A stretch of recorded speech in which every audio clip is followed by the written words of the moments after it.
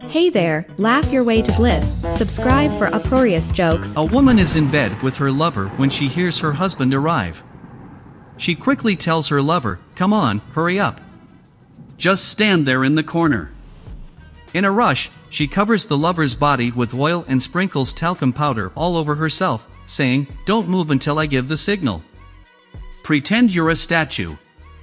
I saw a similar one at the Almeida's house. Just then, the husband enters and asks, What's this?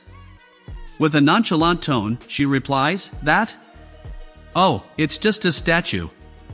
The Almeidas have one in their room, and I liked it so much that I got one for us too. No more was said about the statue. At 2 in the morning, the wife is fast asleep while the husband is still watching TV. Suddenly, the husband gets up, goes to the kitchen, makes a sandwich, grabs a can of beer, and enters the bedroom.